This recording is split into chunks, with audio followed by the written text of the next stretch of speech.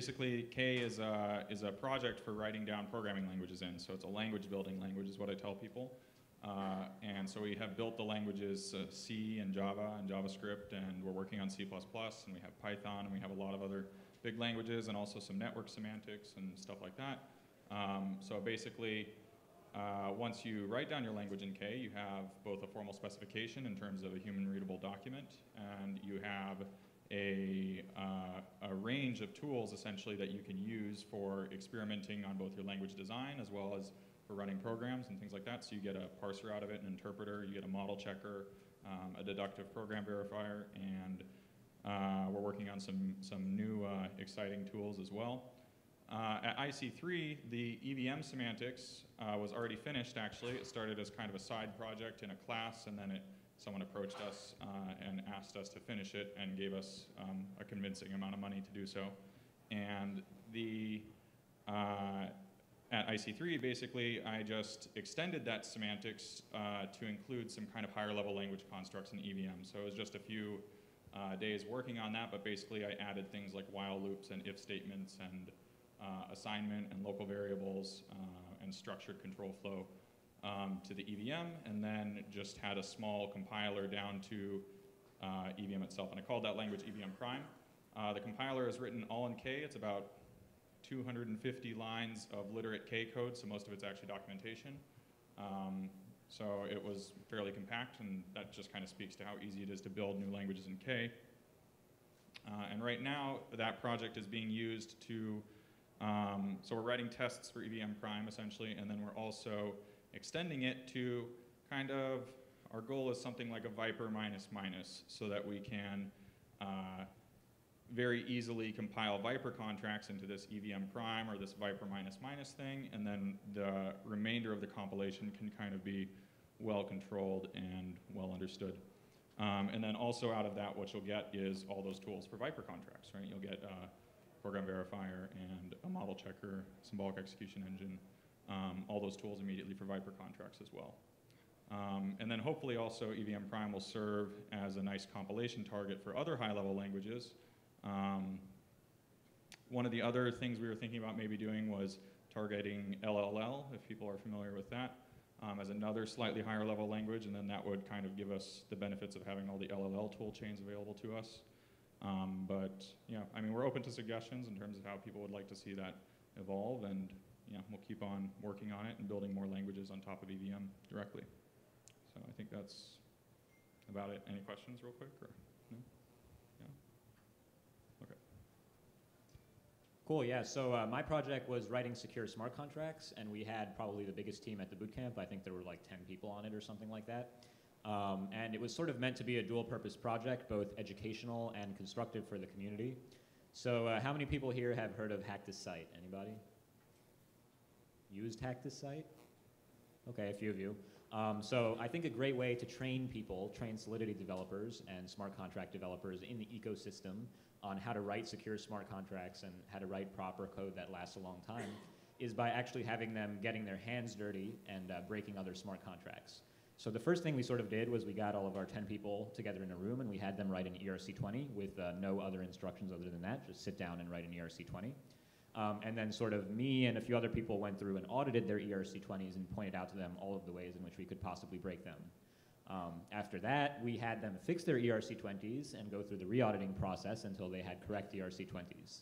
Um, and then sort of the second half of the project was to build out this platform, uh, Hack This Contract. So you can access it at hackthiscontract.io. Um, and the way it works is there's five or six uh, example contracts on there that are intentionally vulnerable. Uh, you deploy them on the Rinkeby testnet. All you have to do is give it your Rinkeby address and then have at it, try to hack the contracts and see if you can actually break um, these things.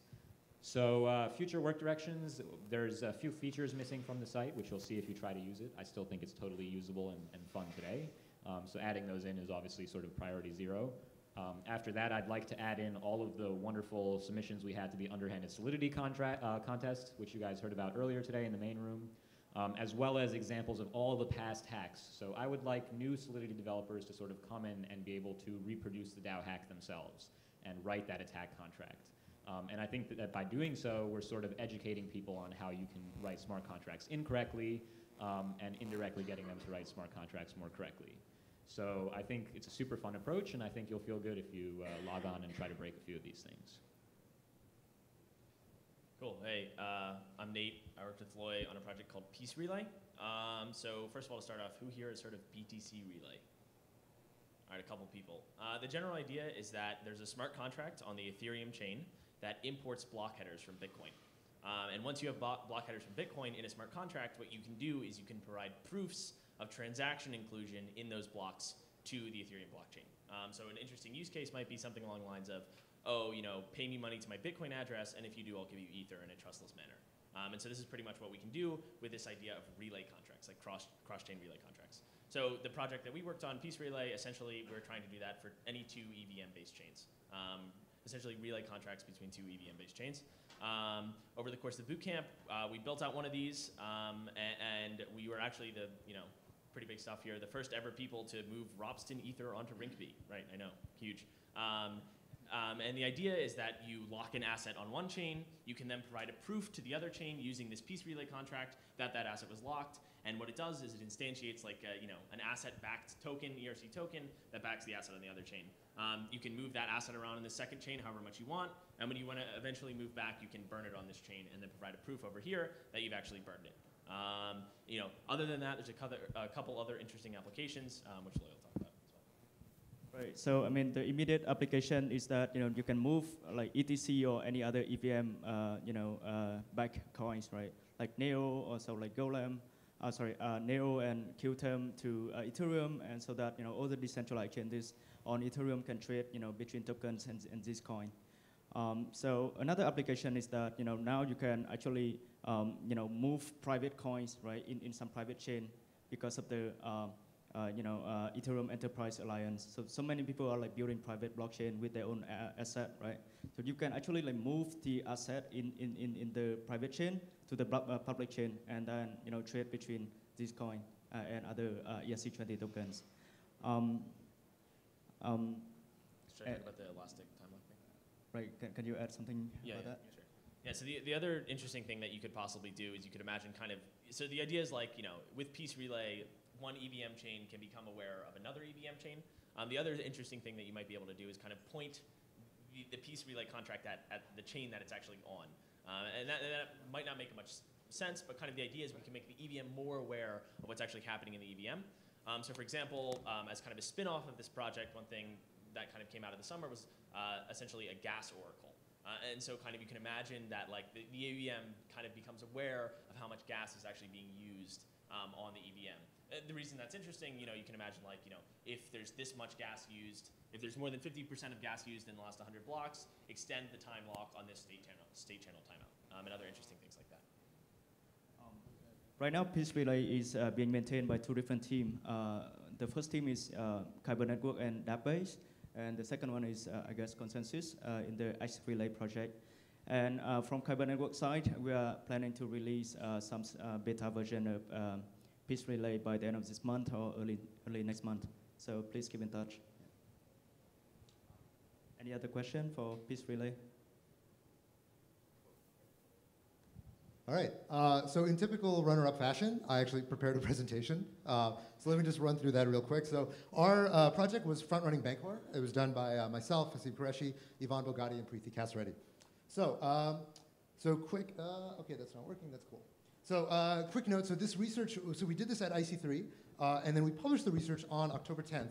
At the same time, we worked with the Bancor team before we actually published to address the vulnerability and put out some fix so that it wasn't still vulnerable to this. Um, I just want to point out the Bancor team was, was cooperative in analyzing the attack, pushing out a fix. Uh, so I want to give props where it's due. This is still an early space. People mess up all the time. So, you know, blockchain development is really hard. Um, so that was cool. So what is front running? Front running is a term that originated back in the stock market, uh, in, back in the days when trades were executed on paper. So literally what would happen is a broker would receive a large buy order from a client, and they might say this out loud so other people could hear, and they would go walk over to the desk to perform the trade. A malicious trader would basically hear that this was going on or see this was going on, and literally run in front of them to put in a buy or sell uh, ahead of time to profit and sort of sandwich their, their transaction in between. Uh, now, you can do the same thing on a blockchain. Uh, if a miner or user sees an unconfirmed transaction in the mempool that they can profit from, they can squeeze their own transaction to come in front. Uh, so essentially, you're profiting from a beneficial reordering of the transactions. Now, as a miner, this is pretty easy because the, the way that mining essentially works is that uh, you are sort of the leader for a moment, so you get to decide what goes in that block, and so you can reorder transactions however you want if you manage to mine that block. Uh, as a user, however, you can actually manipulate where you go in a block by changing your gas price. And most mining clients will sort mine transactions by the gas price. So if you come in higher than somebody else, you'll come in before somebody else in the serialized execution. So Many blockchain market protocols are vulnerable to miner front running, um, but it doesn't seem to really happen very much in practice that we can observe. Uh, plus, uh, miners can only front run in blocks that they themselves happen to mine, right? So unless we're coordinating among a big mining pool, if I'm a malicious miner, I only get to front run in, if I happen to mine a block, which is very, very rare for any individual miner.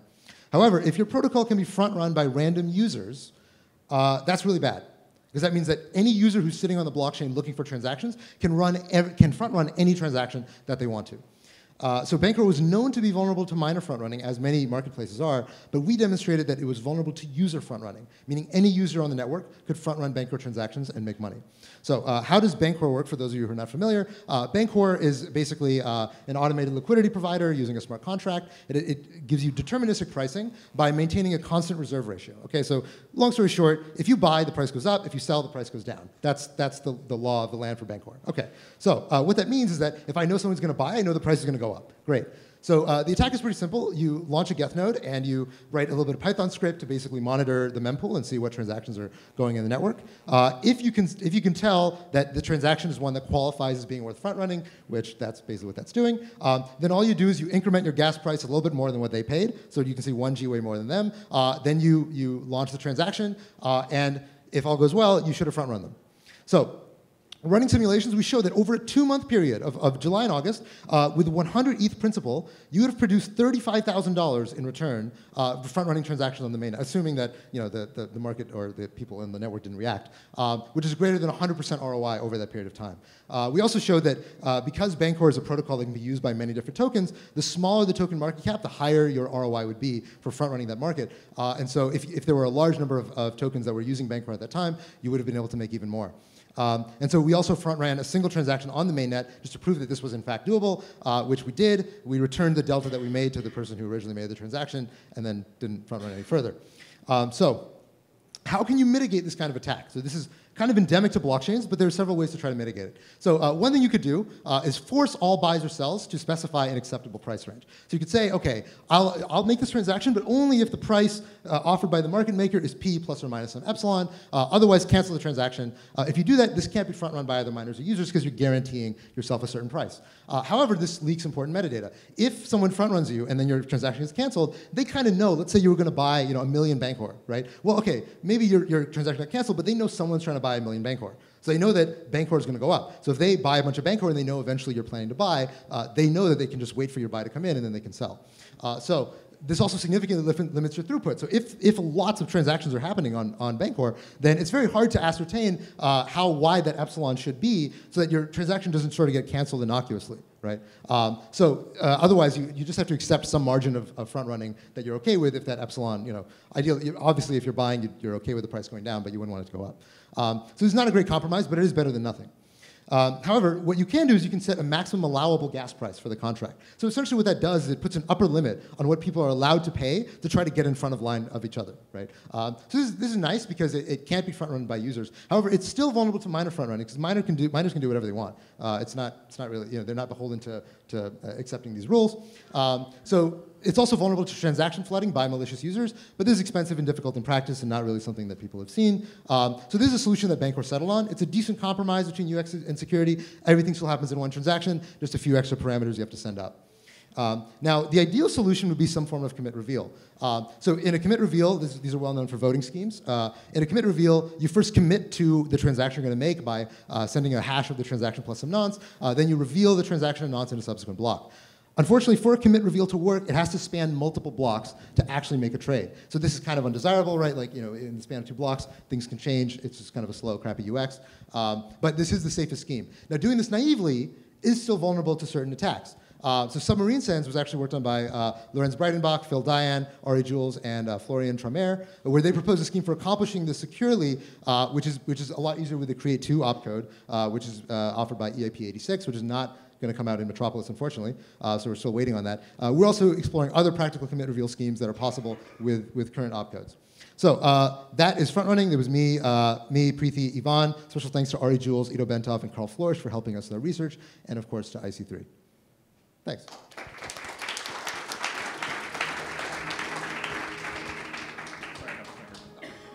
Thanks, guys.